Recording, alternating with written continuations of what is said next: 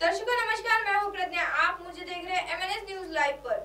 मकान गिरने से पाँच बच्चे दबकर घायल, तीन बच्चों की हालत खराब।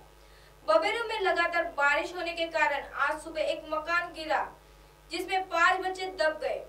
मोहल्ले के लोगों ने बड़ी दिक्कतों के साथ दबे बच्चों को मलबे से निकालकर सामुदायिक स्वास्थ्य केंद्र में भर्ती कराया, जहाँ पर डॉक्टर ने प्राथमिक उपचार करने के बाद तीन बच्चों की हालत खराब होने पर जिला अस्पताल में रेफर कर दिया।